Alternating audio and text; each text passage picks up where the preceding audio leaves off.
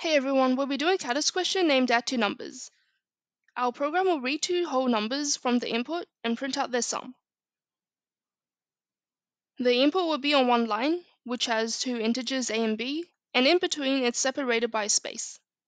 And the output will be the sum of the two integers, a plus b. Let's start coding. We will have input a, which will be input.nextInt, and input b, which would also be the same. It will both be user inputs. And then we will print out their sum, which would be a plus b.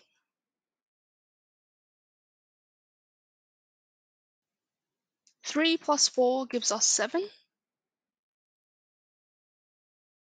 987 plus 23 gives us 1010. Thank you for watching this video.